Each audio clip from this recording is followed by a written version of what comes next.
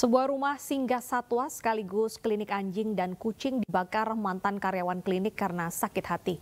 Aksi pelaku sempat rekam kamera pengawas dan menjadi viral di media sosial.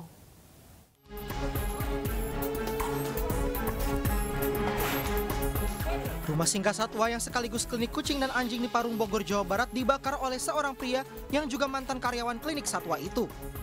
Pelaku nekat membakar klinik hewan karena sakit hati telah diberhentikan. Aksi pelaku juga sempat terekam kamera pengawas dan viral di media sosial.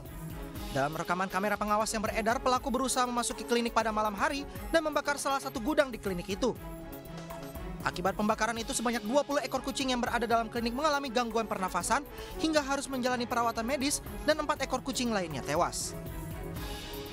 Kalau masalah kenal atau tahu, ya dia uh, orang sini, warga uh, orang masih lingkungan sini lah ya. Cuma saya belum bisa sebutkan karena kan itu di luar wewenang saya. Uh, pelaku sudah dibawa sama pihak polisi karena kan terekam CCTV saat uh, pengerusakan kaca jendela di klinik. Dari klinik mereka dia jalan ke uh, arah shelter terus melakukan pembakaran itu pasti menggunakan bahan mungkin bensin karena kan apinya besar. Beberapa saat setelah kejadian pelaku berhasil ditangkap oleh pihak kepolisian Polsek Parung dengan barang bukti berupa korek api.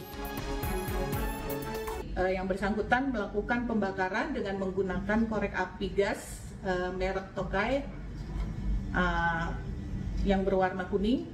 Kemudian pelaku melempar menggunakan batu ke pintu kaca dari klinik hewan juga.